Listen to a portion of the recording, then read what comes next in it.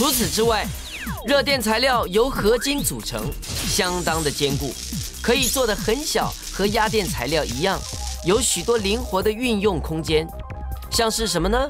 呃，像是利用体温发电的手表，和利用体温为手机随身听充电的配件，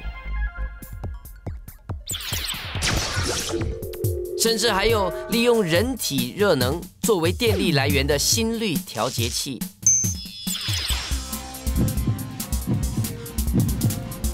能随时的调整病患的心跳频率。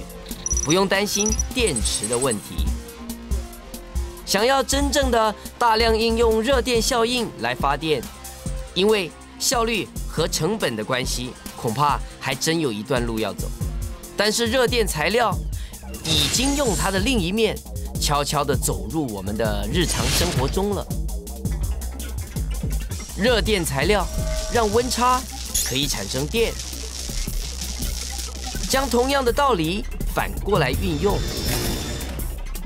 当电流通过热电材料时，就会产生温差，这就是热电效应的逆反应。利用这个原理，可以为各种东西降温。